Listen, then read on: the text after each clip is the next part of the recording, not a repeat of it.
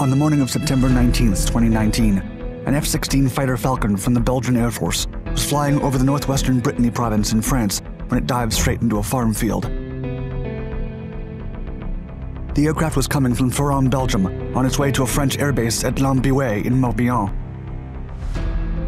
As it went down, its two pilots were able to eject, but one of them remained dangling from a 250,000 volt power line for two hours as his parachute strappings got entangled in it. A resident in the area recounted the experience. Quote, We were in the garden.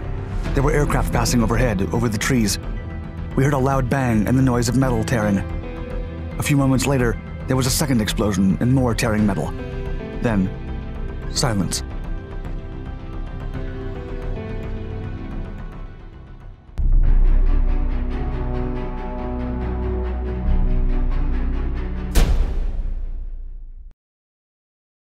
A legend aircraft.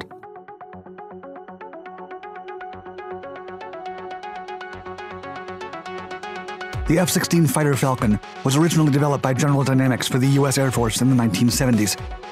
In 1993, General Dynamics was acquired by Lockheed Martin, which has produced the model to this day. During its decades in service, the Falcon evolved from an air superiority day fighter jet to an all weather multi role war aircraft. Features a frameless bubble canopy, a side mounted control stick for maneuverability, and ejection seats reclined 30 degrees to reduce the g forces on the pilot. Designed to be the most agile aircraft of its time, it was the first to use a relaxed static stability and fly by wire control system. Over 4,600 Falcons have been built throughout its four decades of service, and over 25 countries have used the Falcon for their air forces, including Norway, Denmark, and the Netherlands. Belgium was one of its first overseas buyers, and around 60 F 16s were on service with the Belgian Air Force by 2019.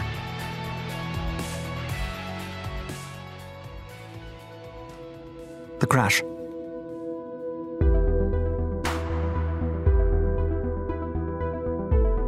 An F 16 fighter Falcon from the Belgian Air Force was flying at 1,500 feet on September 19, 2019. The aircraft was performing a practice flight from Belgium to a French airbase at Lann-Bihoué in Morbihan, France.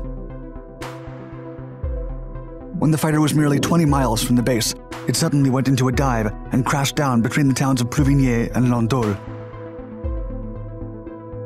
The two pilots managed to eject before the impact. One of them landed with minor injuries and was eventually retrieved from the ground, but the other got stuck in a high tension electricity line. Authorities swiftly launched a crisis management operation with 40 firefighters and 20 rescue vehicles.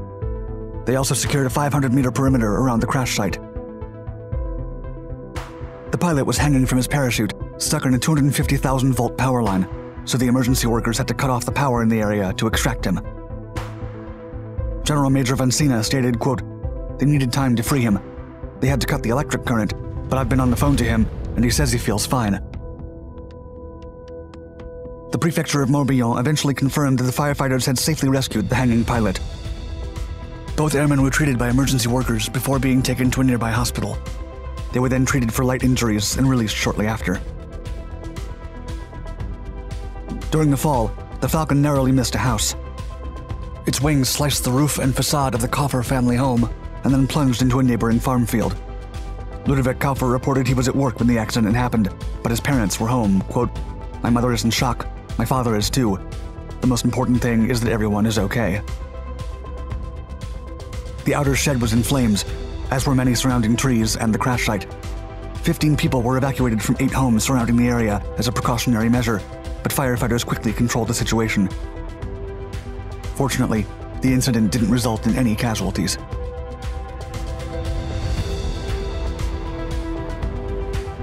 Investigation.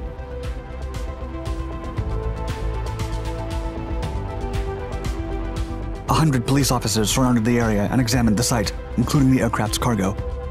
But the Falcon was flying unarmed. The Belgian Defense Ministry led the investigation and sent experts to the crash site, but the reasons behind the incident were not immediately disclosed.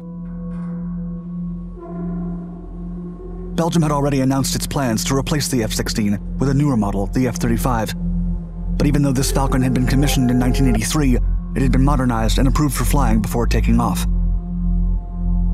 but it was later revealed by the head of the Air Force that the pilot had indeed reported a problem with the engine during the flight and had tried to restart it. The maneuver was unsuccessful.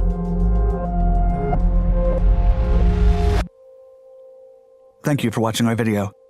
And don't forget to like and subscribe to our channels for more anecdotes and stories from around the world.